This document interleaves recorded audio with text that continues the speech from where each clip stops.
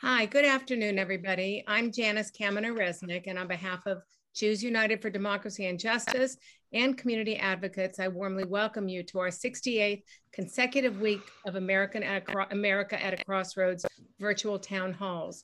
Tonight's program features the extraordinary American Alex Vindman in conversation with Patt Morrison. Our JUDJ leadership team includes Mel Levine, David Lehrer, Zev Yaroslavsky, Caroline Kelly, and Rabbi Ken Chasen. You saw our list of co-sponsors on the screen a moment ago, and we are grateful to all of you. We have some great programs coming up. Next week, we welcome a very dynamic duo. Sheera Frenkel, who covers cyber issues for the New York Times and who wrote An Ugly Truth Inside Facebook's Battle for Domination. In addition to Sheera, UCLA constitutional law professor Eugene Volokh will, will be joining us. They will be exploring social media and its impact on American politics, as well as the legality of imposing controls or restrictions on the content posted. They will be in conversation with Larry Mantle. Tomorrow is August 12th.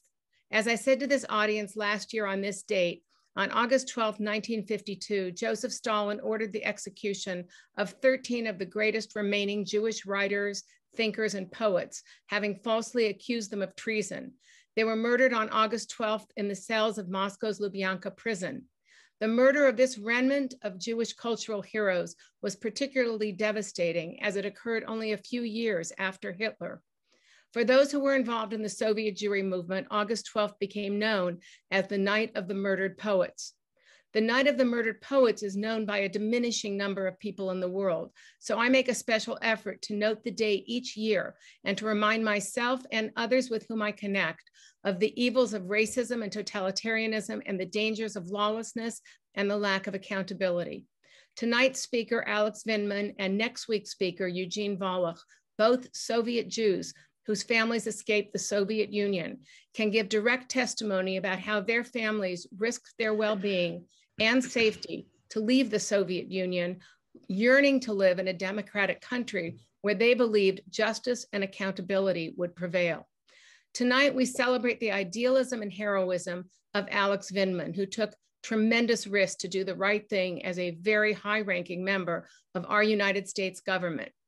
And we also memorialize those who were killed 69 years ago on the night of the murdered poets due to government sponsored racism, hate, and the lack of accountability. Now, my colleague and friend David Lehrer will tell you about a couple more programs coming up. David? Thank you, Janison, for that very important message. Tonight, we get to hear from a real life superhero, a person whose actions are what the New York Times described in a review of his book, Here Right Matters an American Story, just which just came out last week and will be number two on the New York Times bestseller list this week. And as those of an ordinary man placed in extraordinary circumstances who did the right thing. Janice and I had the opportunity to have an in-person lunch with our guest Alex Alexander Vindman this week. He is as forthright, intelligent, and pleasant in the flesh as he seemed when he spoke to a rap nation from Washington D.C. in November 2019. We have several other programs that we want to don't we don't want you to miss, in addition to the ones that Janice mentioned, with the top rung of Washington D.C.'s journalists. On September 1st, we'll be joined by Warren Olney with Michael Bender, the Wall Street Journal's senior White House correspondent and author of the recently released New York Times bestseller, Frankly, We Did Win This Election. Bender chronicles the White House's machinations during Trump's final months in office. His work has been described as the best of the books analyzing Trump's decline. Following Bender will host David Frum. Frum is one of the most incisive and analytical of the pundits and columnists writing today. His works, Trumpocalypse and Trumpocracy, offered prescient insights into what ailed America for four years. He'll be in dialogue with Madeleine Brand. And this week, we've added one of our most popular prior guests, the Washington Post, Jennifer Rubin, who'll be discussing her upcoming book, Resistance How Women Save Democracy from Donald Trump. And now to introduce this evening's guest, a winner of Pulitzers, that's with an S, Emmys with an S, and Golden Mikes with an S, for her work in print at the Los Angeles Times, for radio on NPR, and for TV on PBS. Patt Morrison. Patt? David, thank you. Janice, thank you too. What you just described, David, really sums up American literature and American movies. An ordinary man in extraordinary circumstances, except this really happened. We had four years packed with political drama, but a few moments will still stand out. And among them was that day on November 19, 2019, when Lieutenant Colonel Alexander Vindman testified before Congress about a phone call between President Donald Trump and Ukraine's new President Zelensky. It turned into, to use a crude term, a corrupt shakedown for a favor from Ukraine to stage a bogus investigation to try to take down Trump's likely rival in the 2020 election, Joe Biden. What unfurled from there wasn't what Vindman expected, it wasn't what the nation expected, and yet it helped to change the course of our nation's story as well as its tone.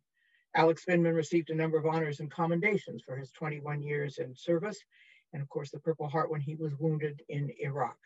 That service taught him judgment, calculated risk taking, timing, analysis, strategic and tactical thinking and planning, and that yet still no one could have foreseen or planned for what happened to him as he writes about a job on behalf of the long range security interests of the United States that would collide with President Trump's short term nickel and dime electoral and political sleaze. The title of his book is taken from his testimony. It is Here, Right Matters, an American story, as you heard, now number two on the best bestseller list at the New York Times.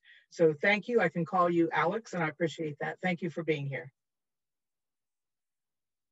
Thank you. Uh, thank you for that thank you for that terrific warm welcome, uh, David and, and Janice, for your your support and um, endurance listening to me talk multiple times this week. And I'm looking forward to this conversation, Patt. Thank you. As a young man, you decided to serve your country and you spent 21 years in the military doing that. But unexpectedly, you came to serve your country in a very different way that you wouldn't have expected. No one would have expected. But I think we would all agree that it was a public service. Can you characterize what you think that public service ended up being and doing? For me, fundamentally, it was living up to my oath of, of office, an oath that I had sworn on multiple occasions, uh, an oath to support and defend the Constitution of the United States against all enemies, foreign and domestic. I um, in in certain ways, I'm pretty fortunate to be able to pinpoint the moment where I I know I made a marked contribution to our national security and our national defense. Over a 21 year career, there have been many moments where I I thought I'd made an impact. I'd authored kind of the definitive document to defend this country against the threat posed by Russia. I had led countless meetings synchronizing all sorts of activities by the US government. And um, in this moment, though, I saw our, our nation uh, at risk and a president attempting to steal the election by uh, you know tipping the scales in his favor by calling for a foreign power to investigate the United States uh, to investigate uh, his rival in upcoming election, and uh, I just did my duty you know, President Trump was still in the White House residence for that call in July 2019 with President Zelensky. So I can imagine you sitting there on the phone and looking at the phone and doing this kind of cartoon this. Did I really hear what I thought I heard? What the president said to President Zelensky about the quid pro quo that that he was demanding. Yeah, it wasn't. excuse me. It, it wasn't. Um, a revelation about what was going on. Frankly, I'd watched this this enterprise, this corrupt enterprise, unfold over the course of many months. Ambassador Yovanovitch being removed uh, by you know the the machinations of Rudolph Giuliani and corrupt uh, Ukrainian actors. Um, ultimately being removed when Donald Trump Jr. Um, tweeted about her, and then all these pronouncements about investigations into the Bidens what was the major revelation, frankly, was the president's own direct involvement. Uh, up until that point, uh, my reverence for, uh, for the office of the president kind of maybe uh, clouded the, the view that the president himself was the driving force. Up until that point, uh, I had I knew that there were all sorts of uh, corrupt individuals and kind of people looking to ingratiate themselves with the president but it was that phone call, the president's demand for Zelensky to investigate uh, the Bidens in exchange for a White House meeting and security assistance. That that was that kind of crystallized where where this uh, started ended. It started with the president's enterprise and an abuse of power, and uh, I just didn't feel. I mean, I knew uh, in my in my heart that uh, nobody was above the law, and uh, I was going to report the president to the proper authorities in proper channels behind closed doors with the the, the you know belief that things would we could uh, get reconciled. And that was to me one of the core elements of your story is that you were taught throughout your military career to rely on the chain of command you believed it to be your duty to report misconduct, even if it was on the part of the president. You said, and then I expected the appropriate professionals to sort things out and correct a situation that was disastrous for the country and potentially the globe. You thought the process was self rectifying. You thought the chain of command would take care of this. Why didn't it?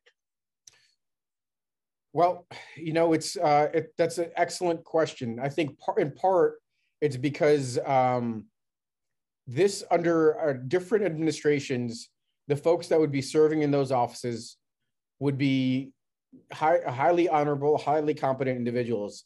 In this administration, the president set the tone and the character of the of the the administration and the people that filled its ranks, and he basically selected people that were of his ilk. And uh, you know, I guess my faith in the system was in part due to to my um, service in the military in an apolitical organization with really little interaction with the political class up until that point. And uh, I had, I, you know, I believed that these people were going to do the right thing.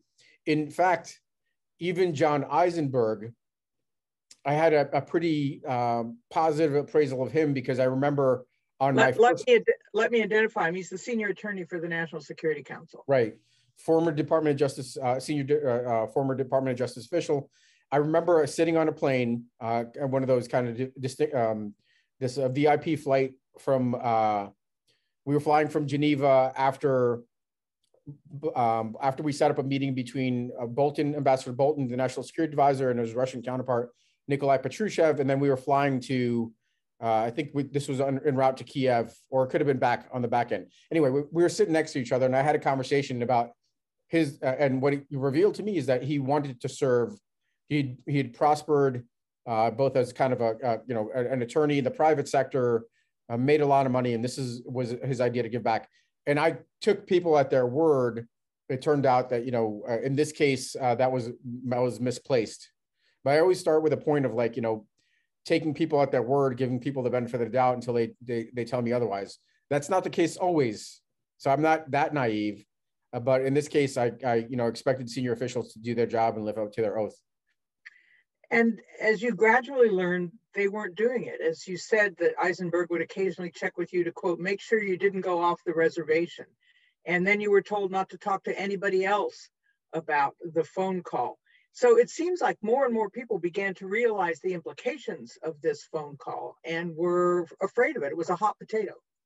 It was a hot potato, but I think at that point, uh, frankly, uh, you know, this dispels this notion of, of the government ever being able to orchestrate any kind of conspiracy because you tell like two people in Washington and you're telling the world or something of that nature. But at this point, you know, their their their desire to do some crisis management and contain this had already uh, exceeded their ability to do so because at that point there was a whistleblower uh, complaint that was uh, um, that was that was reverberating through the halls of the CIA and the Office of Defense, uh, uh, you know, and, and ODNI ultimately, and um, it was it was starting to eventually would come to the attention of um, Congress with its oversight responsibilities in the House.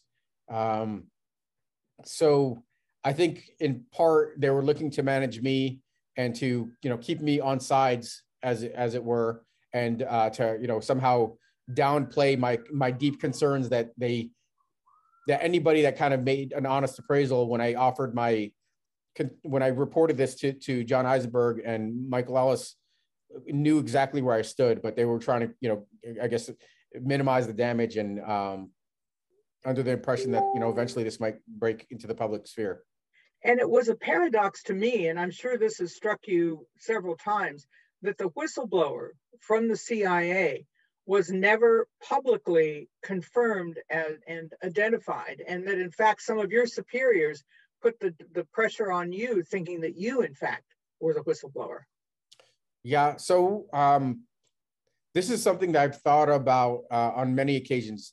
I do I do believe that I was the you know I, I was the the official that reported this, and maybe in, in certain cases, kind of the the, the absent my report, this would have never been disclosed or uncovered. But there, I I can't take credit for the impeachment of the of, of the, the president because yes, I made my complaint, but then there was somebody else that also felt de- this was deeply wrong and reported it through other channels. And then, you know, my my uh, prominence, I guess, came about not necessarily even because I was a, the, the, the the reporting official in the White House, but because I testified and I was the uh, official that was on the call and uh, appeared in uniform in front of Congress and provided factual testimony on the president's um, abuse of power. And yet, the, because the whistleblower was never known, uh, at least publicly, the, the whistleblower did get threats and, and attention, but kind of below the level where you got the most public of scrutiny and the most public of threats.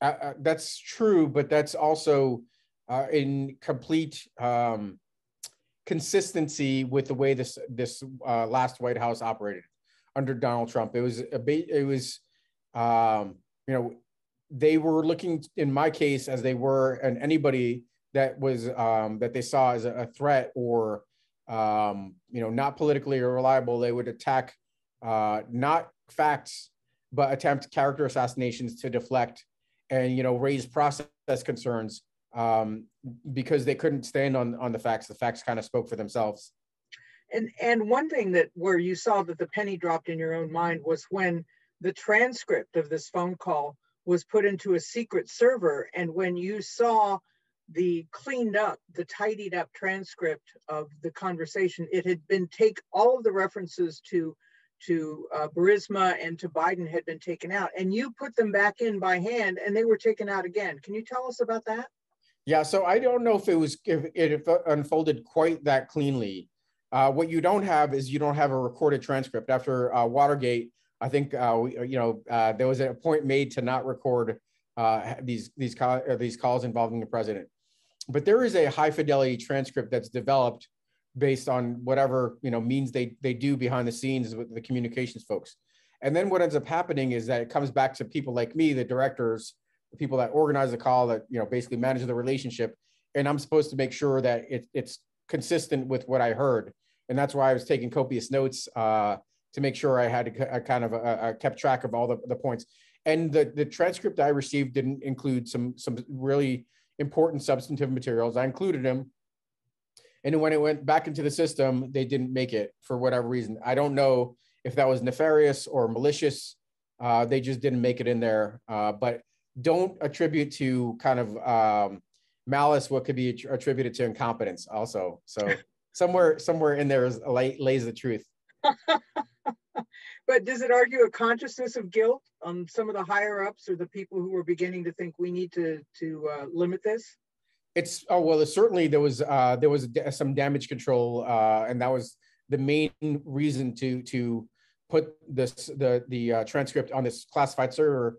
Which is funny because you know within like six weeks or four to six weeks, the president had taken this what was considered to be like the most sensitive information put on the most classified of, of like, you know, uh, computer infrastructure and then released it to the public. Uh, I don't know. The president it was his own worst enemy, oftentimes. That was uh, his way of declassifying things, I guess. Yeah. I have to say, as a, a, student of history, and you and I talked about a bit of different history before we went on, I couldn't help but think of another Jewish army officer who was framed and kicked out of the military as a scapegoat for a larger scheme, and that was was Alfred Dreyfus. And you were made a scapegoat, sometimes in the most absurd fashion. Um, when people talked about you being a, a spy for for Russia or for Ukraine when you came here at age three, and and John Yoo, of course, who everyone knows from the Bush administration, uh, made made that possible suggestion. As you were being assaulted with these attacks and slings and arrows. Were, were you feeling um, how cartoonish this was all what this all was, but how seriously people took it? You know, it's interesting. I'm I'm certainly uh, familiar with the Dreyfus affair. and I never, I don't know if I would equate myself to quite the kind of the disdain um, and the the the consequences that the Alfred Dreyfus faced, but there are some interesting parallels. And I think in his case, he was a, he was a uh, you know useful scapegoat as, as um, both Jewish and um, German, and um, uh, you know useful to to kind of uh, implicate in in uh, treason and uh, dual uh, allegiance and so forth. In my case, I don't think my own uh, home organization ever kind of felt that way or seemed to imply that way. What they did is it, it was in certain ways not quite as bad, but maybe even worse. They just remained silent when I was under attack, knowing I was an officer in good standing. Uh, you know, decades of service, including at the most senior echelons. You know, not somebody in the backwater, not like you know uh, uh, Dreyfus that was was established, but not like you know uh, kind of central. Uh, I I did some pretty unique and you know I had the, the just the distinct honor of doing some pretty amazing, unique things for the Department of Defense. And um, when I was under attack uh, and unable to defend myself because I, I, I had there were pro- prohibitions on doing so as a, a military officer, uh, they just kind of left me uh, out there by myself. And then at the conversely, the president had uh, the president and his, his, his press team had set out attack points to right wing media that then kind of reverberated for the you know for the duration that my name was cycling in the press about dual allegiances, uh, you know, um, uh, questions about my competency, leaker, leaker, and all that stuff. But it came straight from the White House, and the reason that we know this for a fact is because at one point uh, when they sent out these uh, these attack points, they didn't they did it in the most ham-handed manner, and they hit send, and it went to you know not a, went to people on the address line that were not right wing media. So it, it, was floating around there. So it was easy to kind of identify where this was coming from. Do you think that's maybe why your the, the mil- military didn't close ranks around you and support you is because this was coming from the commander in chief and he was after all the commander in chief? Absolutely. There's no question in my mind that that was the case. But where's the exercise of judgment about following illegal orders and uh, allowing things to get out of hand as, as they did beyond the scope of a commander in chief's performance into sheer politics and game playing? Yeah. Well, so this is a, an issue that I've been wrestling with because I do uh, so love my time in service and uh, recognize all the benefits I, I had from my military service.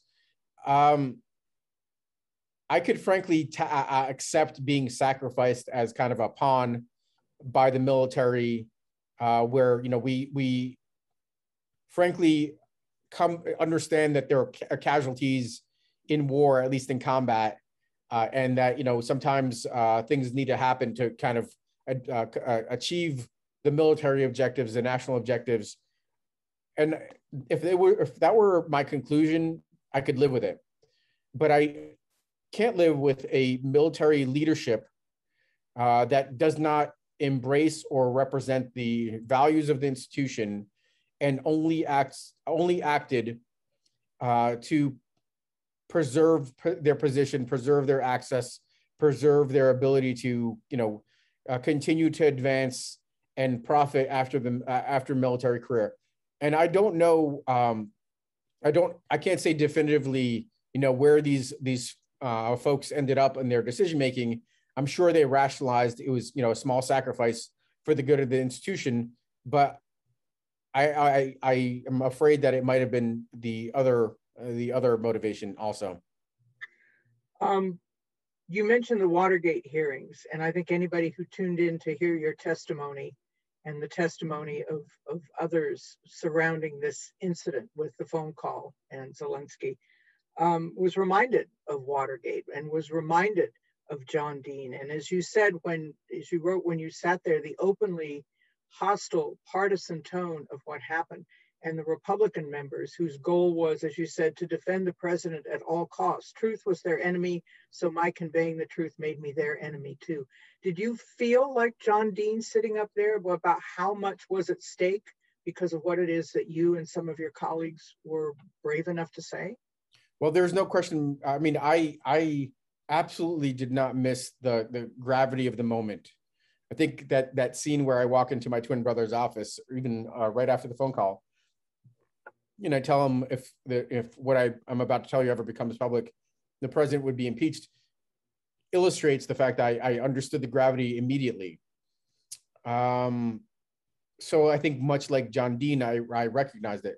What I maybe didn't recognize uh, is that, you know, for a lot of folks that swear an oath to the Constitution and hold uh, elected office, some of these things are just the words on a page rather than kind of uh, a um, you know a, a, a compass uh, uh, to to be able to follow for for uh, for ways to behave, the ways to live your life, ways to kind of serve in office, and that's probably the biggest disconnect. Is you know I still had some misconceptions about the fact that I might be treated a little bit more kindly uh, because I was an active duty army, army officer, you know, with with decades of service. But we see even now that these same individuals don't have a bottom, don't have a, a you know kind of a, a limit to how far they're willing to compromise they they attack the, the police officers that they so, so kind of uh, tout support for on January 6th. So I think to me, you know, obviously a lot for a lot of these folks, it's words on a page rather than something meaningful. You write a lot in your book about your family background, about those awful Vindman boys racketing around the neighborhood. Don't grow up to be like those Vindman boys, you and your brother. Your father came here as a widower with your grandmother and your two brothers um, and and made his place in this country with you know fewer than a thousand dollars in his pocket not being able to speak the language and so there was a part of that of your story that kind of puzzled and surprised me when you wrote about your father as a bellwether for the american public and here's why because your father who escaped the soviet system thought the highest levels of the us government could resemble the soviet system. And you standing up to it he thought there would be reprisal you know character assassination career ending actions. And in essence he thought the worst was possible of democracy. And yet the man he admired donald trump was the man who was epitomizing the worst of that and attacking you. So i, I was a little puzzled but as you write he changed his mind over time he did and i think there are certain things that you could accept and understand intellectually uh, but uh, at the same time, when it comes to your, your children, you feel viscerally. So he felt kind of a, a fear over what could happen to me. And he was in part right, you know, with regards to my military career, not with regards to kind of like, you know, par- uh, uh, uh you know, immediate or personal peril. So um, I think it's that and his actually his understanding of power based on uh, a, a, life, uh, a long lived and, and experience and understanding how power is wielded in places that don't have the kinds of um, you know that uh, the rule of law is less important. He he uh, was concerned about how power could be wielded against me. So he's a savvy guy. He's uh you know he he started out in a place where uh, as a, as a refugee from communism uh, he the he swung to the other side to the kind of the the the unhealthy conservative spectrum uh, as a complete and utter rejection of the left, and that's where that's where he started. But I think you know, in terms of his motivations, to me, it was clearly about my my well being and his read on power, his read on how things work, uh, and I'm I'm I'm very fortunate to have his counsel actually. Uh, because he one of his concerns was was that you were helping the Democrats. Your perception is that you were helping democracy. His concern was that you were helping the Democrats. I don't know if I mean maybe early on that was a calculation because he if he found it hard to believe that the president was the corrupt actor that you know frankly he should have known better because you know New York uh, uh, Trump is a New York figure with a with a storied history of kind of corruption and failure and and all sorts of negative negative things but um I don't know. I think he he also thought that uh maybe this is an individual could, that could shake, shake things up. The good thing is that my my mom put her foot down and you know basically said no more Fox Fox News in the house, and uh, you know limited uh, some of the Russian kind of propaganda that's that's uh, being financed by by uh, oligarchs from that part of the world that kind of have a, an anti anti left bent and and all sorts of other things that uh, are unfortunate that feed the immigrant community, um, the expat community, and uh, with with those blinders off, with me under attack and having faith and trust in me, his son, and uh, he he was able to to come around. There are moments in your narrative when things are packed together. For example, one day you receive notice that you're going to be testifying to Congress, and then the next day you get the call saying, Congratulations, you're going to the US War College, which means a full colonelcy for you. And then following that, several months later in 2020, Trump is acquitted. Two days later, the, uh, the head of HR for the National Security Council essentially walks in and says, get away from the co computer, um, you are dismissed. You're, it, the, the compactness of these events, the, the whiplash of these events must have been extraordinary for you. Yeah, I mean, that's true. Uh, I think, you know, in, in certain ways as an army officer, an infantryman, you know, it's a, like a react to contact drill. You know, you, you just, you, you're, in, you're in a, uh, some, something unforeseen happens and you just kind of like have to collect yourself very quickly, cool, calm, collected, respond. Um, I don't know. I, I, don't, I didn't find some of these moments uh, juxtaposed each other to each other to be all that difficult to, to really face. It's the, the, the, the far more challenging things, you know, more challenging than the initial report, um, more challenging than the much more difficult decision about giving forthright, you know, uh, un, un kind of restrained testimony that I knew was going to certainly get me fired from the White House and potentially was going to, you know, really kind of impact my military career would be the consequences of those actions and figuring out what I want to do with the rest of my life, uh, recognizing that my military career was coming to an end. A military career that was really quite fascinating and, you know, brought me from uh, combat in Iraq to the, streets of Ma- Moscow, uh, you know, advancing U.S. national security interests while under the microscope of uh, the Russian security services, to the Pentagon advising the, the, chairman of the Joint Chiefs of Staff as he's sitting across the, the table from the from you know our, our most most significant adversary in certain terms. I mean, just because they're the most aggressive in in uh, uh, uh attacking U.S. interests, the Russians, uh, and uh, you know then the White House that's the the, the thing that uh, know was most challenging. Kind of moving on from that really fortunate career with all sorts of excellent opportunities that didn't just fall into my lap. I had to work really hard for, and then starting from scratch. Um, but I was not scared to do it either. I didn't. I didn't. I wasn't self deterred and just uh, thought about staying in. I, I knew that I could kind of figure it out and land on my feet. Still figuring it out there's your father's advice. Don't just start over. Keep starting over. Yes. Yes that's right. I think uh, he set the set an example for us by you know starting over a couple times in the soviet union uh, starting over here in the united states. And um, you know it's part of these kind of ca- catchphrases don't self deter uh, start over be prepared be prepared to start over keep starting over uh, all sorts of different things that kind of um, I was able to to draw some conclusions about in writing this book.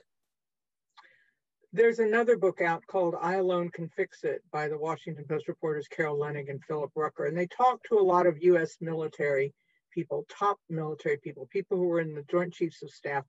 And General Milley said he was so shaken about Trump and the prospect of a coup that he and other top officials informally planned for different ways to stop Trump, according to this book um, resigning one by one rather than carrying out orders that they consider to be illegal, dangerous, or ill advised. Here's the military maybe acting the way you thought it might when confronted with earlier Trump transgr- transgressions. So, how do you feel when you read that as a man who worked in those inner echelons? You know, it's interesting. I would say that um, unfortunately, I'm in a position to take some of that with some skepticism. Um, I saw that saw them buckle in my case. I saw them kind of buckle with regards to this um, this notion of uh, you know participating in, in the suppression of a peaceful protest at Lafayette Park.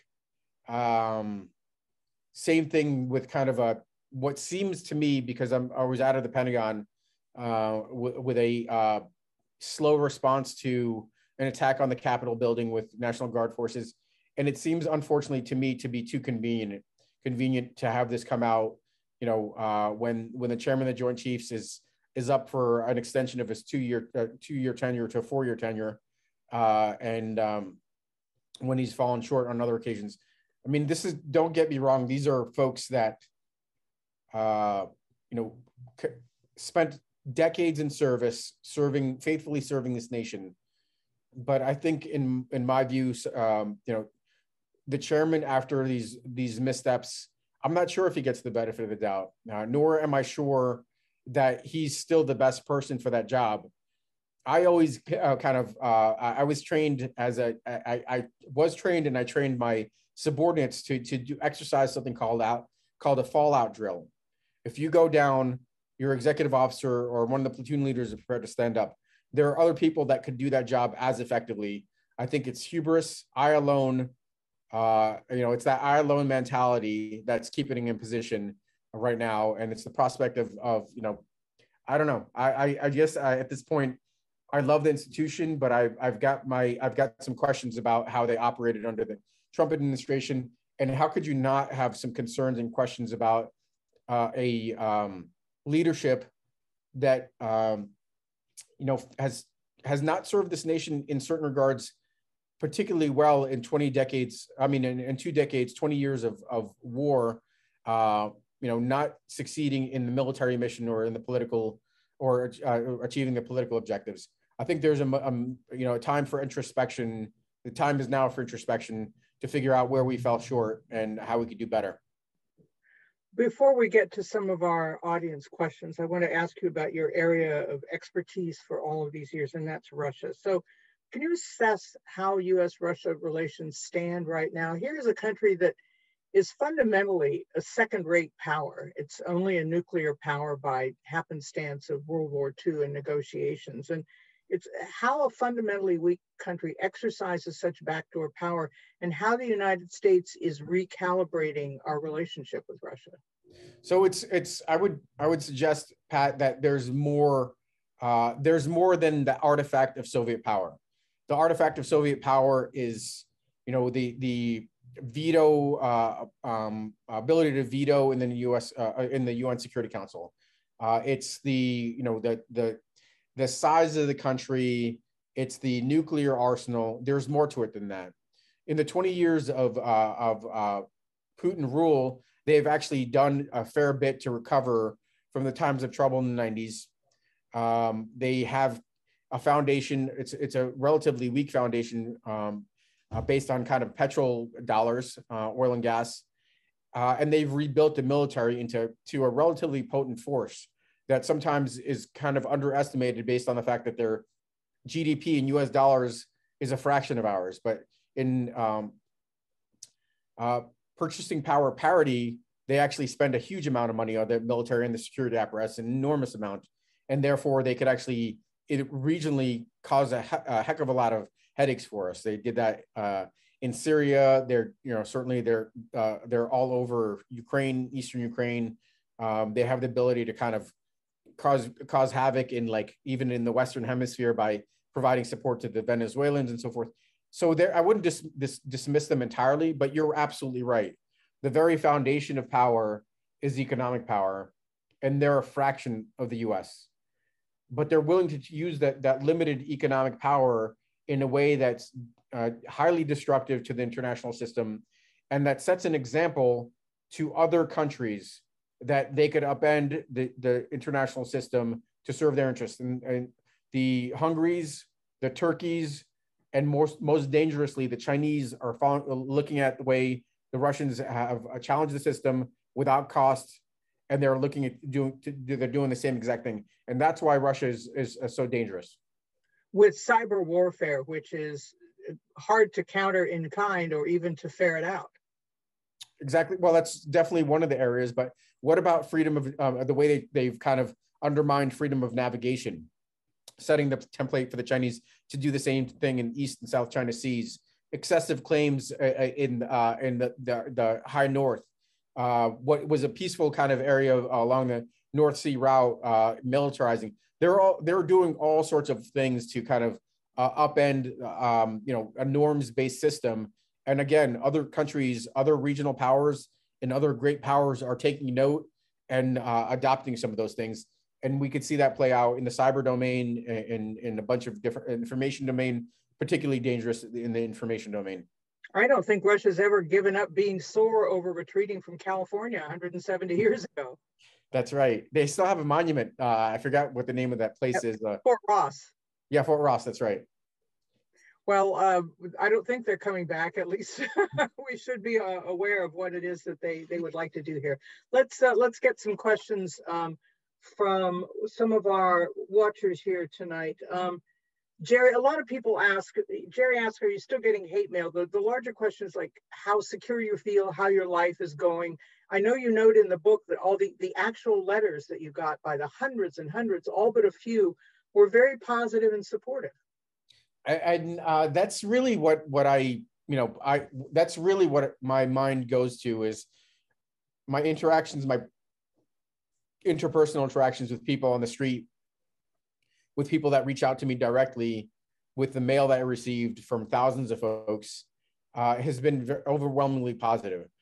The negative attacks have come from like the, you know, uh, almost as a badge of honor from like the, the Fox Newses and the OANN and these far right fringe networks that uh, really can't, ha- they're not, they're not news, they're, they're, you know, entertainment, but really mainly they're kind of, um, they're they're shock jocks uh, of the, of the modern age.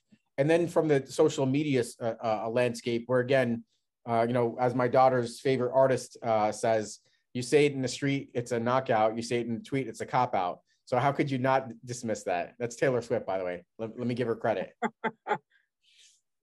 um, so you you feel personally better about the position you're in. You're less vulnerable, um, perhaps, than you felt earlier. I think that's true. Uh, I, I, also try to maintain good situational awareness uh, and uh, alert to um, you know what, what's going on around me. My my wife is really insisting that we change the venue and leave the, the kind of the Northern Virginia DC bubble and maybe move to someplace friendly like uh, Southern California where we, we, we, feel a, a, lot of support or, or Southern Florida. Um, not not an entire, not central or northern Florida, by the way, just southern Florida. But not anyway, near Mar-a-Lago. No, I mean there's that little pocket around Mar-a-Lago, but whatever. Um, it's probably going to go bankrupt soon enough. Um, so I mean there there is it's not something that should be uh, outright dismissed, but there were points in time where I you know I, I considered moving us onto a base because of the the, the threats and uh, you know how we might be accessible. Instead, we increased police patrols and things of that nature but that was um, that was precautionary based on mail and, and kind of vitriol. Um, there's a bigger question about where we are now, uh, you know, in terms of like, you know, uh, moving on from the military, moving on from this episode. But well, you're getting you're getting a PhD at Johns Hopkins and right. working for a think tank. Is that right? Yeah, I'm working. Um, so I'm a, the Pritzker Military Fellow um, at um, the Lawfare Institute. I'm at Johns Hopkins uh, as, uh, as a um, a doctoral candidate. Uh, I'm affiliated with the University of Pennsylvania as a visiting fellow and also at the Foreign Policy Institute at Johns Hopkins. I'm doing some consulting and, uh, oh, on the board of a non-governmental organization that's really keen on uh, trying to, to figure out some solutions to the ills befalling this country. It's the Renewed Democracy Initiative that was founded by uh, Garry Kasparov. Um, Harold would like to know, and this is a question I think that's occupied many just casual observers. What do you think was discussed in private with no American note taker between Trump and Putin in Helsinki? Uh, I think that there was probably there was. I mean, that was my very first day on the job, by the way, on the National Security Council. Welcome. So was, yeah, well, welcome. I, I was supposed to there show up there, get my computer accounts, get that kind of orientations and all that kind of stuff. I think I made it through the first two before the news, the press conference came on. But um, you know, I I uh, I'm not overly alarmed by that. Uh, there were a large number of conversations between uh, Putin and Trump and all, you know, just about all of them were monitored. Even in this case, there was a, a, a State Department official that was translating that, you know, w- wouldn't uh, be party to something that was Ill- illegal or undermined, um, you know, the, the, the security of the, of the United States. Uh, I think it was basically the president, uh, President Putin wrapping President Trump with his kind of, uh, with his tirade on you know uh, how America has been mistreating Russia and that you know he had nothing to do with uh, the election interference in 2016 and how good looking Trump, Donald Trump is and how wealthy and how successful he is pandering to him basically like a uh, the case officer that Putin was a KGB case officer you know uh, uh, pandering to to Donald Trump to to to really get the most optimal outcome out of him which was to get the president to get President Trump to attack his own, you know, intelligence apparatus, uh, you know, and saying that he he believed Trump, uh, uh, he believed Putin over the intel community. So he he did what he, I think what we we saw was the result of that conversation. Um, there was nothing, you know, Putin didn't really have to work that hard with Trump. Trump was, you know, uh, was a useful idiot and gave Putin a lot of what he needed. And that term supposedly dates back to Lenin, doesn't it? Useful idiot.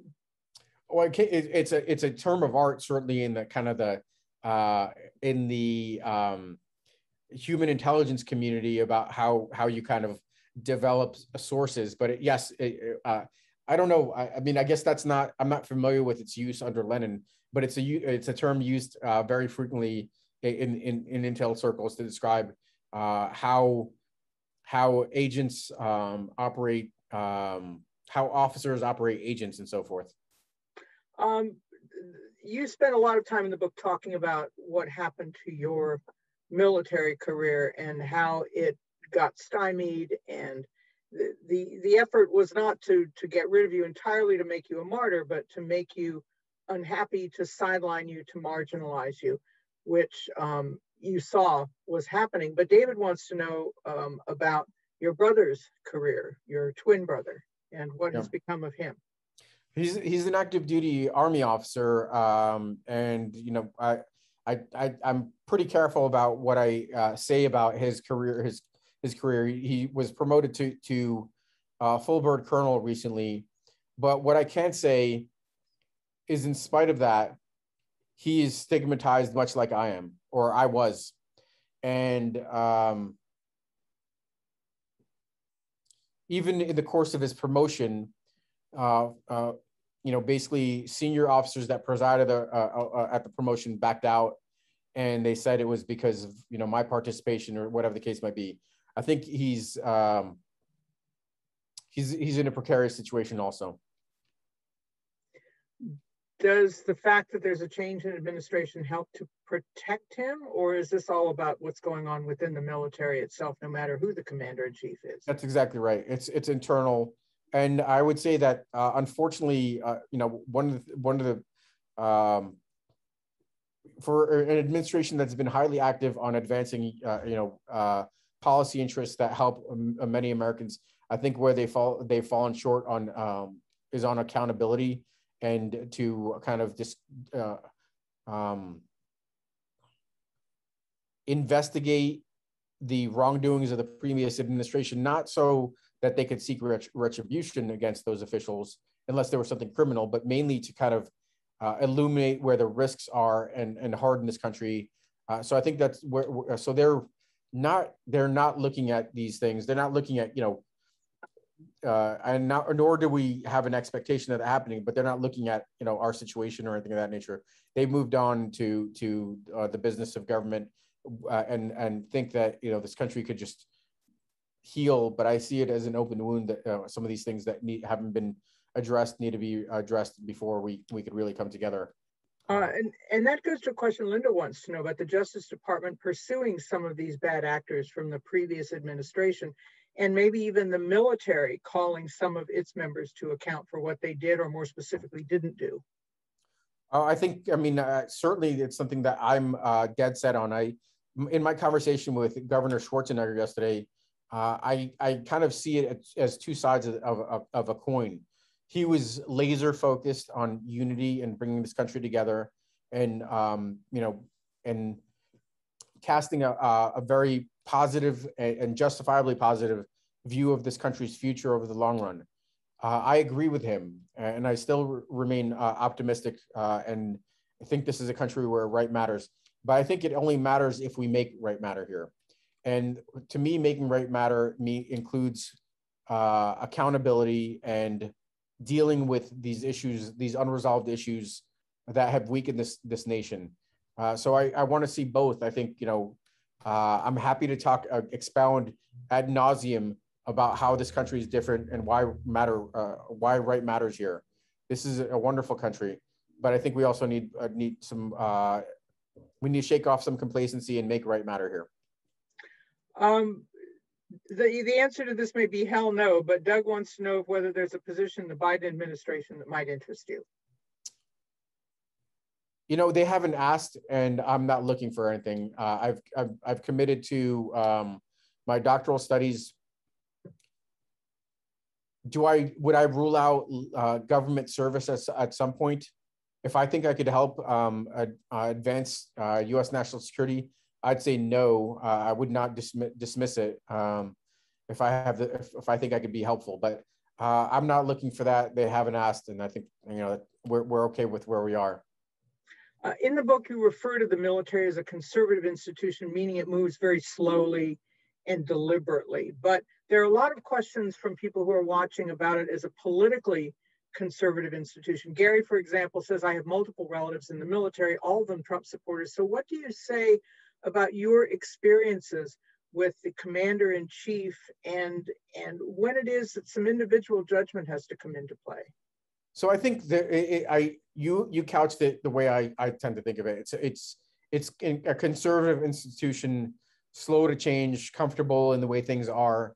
Um politically uh you know we we, we espouse and adhere to um, a doctrine of remaining apolitical, and that's right. But sometimes that, and, and at least in my case, that uh, apoliticism or desire to, to remain apolitical was inherently political in its own actions, uh, in, in, in their inaction, rather. Uh, and I think, yes, the military tends to run slightly more conservative, but my experience and the polling suggests that under the Trump administration, that shifted and that the president president trump lost an enormous amount of ground uh, primarily because he didn't exemplify the values of the military. He's not like a jane a john wayne type figure you know with, with a swagger and uh, with a kind of a cool confidence could be taken at his word. He was none of those things. He was a weak egotistical narcissistic man. And i think that you know a, a lot of people uh, uh, uh, a lot of people recognize that and he lost that support because he didn't exemplify you know what it means to be an a, a, a kind of like a you know an, an, american man.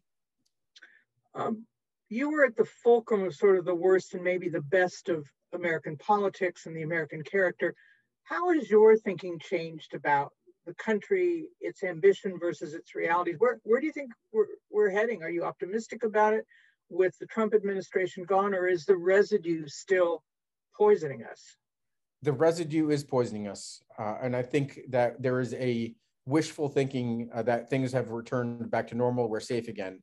And there's a, a, a complacency uh, associated with that. And that's why I, you know, I've taken this, my catchphrase, I have a catchphrase, that's crazy, uh, and adjusted it to making, you know, to, to this idea of making right matter if we want it to matter. But at the same time, I do recognize that this is a wonderful country and that our challenges that we face today are part, part of the, the narrative sweep of America throughout its history, where we've been faced with enormous challenges and we've slowly marched on, improved, faced down, down those challenges, moved towards this, this idea of a more perfect union, uh, a work in progress that continues to, to, to advance with the occasional setbacks, but continues to advance. And um, sometimes we overlook how good we really have it here, and we fall victim to you know the the media sensationalizing the difficulties. But I would encourage people to look around them, look at their local communities, and see what's really reflected in their communities. There are fundamental issues that need to, to be addressed. I know in this in this town in particular, there's a, a homeless crisis that needs to be addressed. But at the same time, I think this country is, you know, is prosperous. There are unlimited opportunities here, and it is not the utter disaster being portrayed by Fox News, where there are riots in the streets. You know, it's a bloodbath that just doesn't exist. That's you know, it's always some other place that's like that, not not where you live because it's not reflective of, of what you're experiencing. Uh, and I just want, I, I, would urge that we kind of look th- at things in context and look at reality as opposed to, you know, the, these uh, these messages. My catchphrase is that I worry that while we are still a powerful country beyond question, we may no longer be a serious one when you look at anti-vaxxers and some of the racist right-wing protests that are going on. Um, that suggests a mid-course correction is more than overdue. And how do we accomplish that? How do we put that ideal of ourselves out out front again? I agree with that. I think there's a couple things. Uh, first of all, um, I would encourage this administration to take stronger leadership on the issues that fundamentally divide us, whether that's COVID, the big lie of stolen elections. That, that those things shouldn't be tolerated and should be shouted down from the bully pulpit. Uh, and that's a powerful, powerful instrument, instrument, instrument, the bully pulpit. But in addition to that, we share a lot of the same ills with our closest allies, other democracies that are that have internal vulnerabilities and are uh, threatened externally by by the rise of authoritarianism. And I think one of the things that we can do is is a concept that this uh, this administration's kind of uh, picked up, which is uniting uh, democracies values based on uh, democratic values and principles and bringing those to, uh, together to to solve common shared problems. So I, I think it's a it's um, you know at least a two step solution that I've articulated. Of course, it's much more complex than that, but I've I wrote a piece about this uh, back in um, in December in Foreign Affairs. Uh, also on Russia, I've written a, a, lot, so people are interested. They could uh, take a look at some of those articles. More than one of our viewers has suggested and asked, and maybe we'll let you wrap up with this would you ever run for office? You know, I've I, have i have been asked this question increasingly frequently, and I tried to to to answer this uh, to not be disingenuous and not say something like "I'll never run," uh, be, but I ha- currently have no uh, aspirations to run. It's something that I, I, guess I'm thinking about as a way to continue to serve and do good. And uh, in a way, there's been a renaissance around this idea of service, at least elected office, because I've connected and had uh, uh, I've got developing relationships with some very very honorable public servants that really believe that they could do some good and um, you know take their oaths of office seriously. I don't know. Uh, I don't think I would be able to convince my wife to do, to to uh, you know to step into the sphere, but it's possible that there's you know I don't know. Well, we will leave it at that.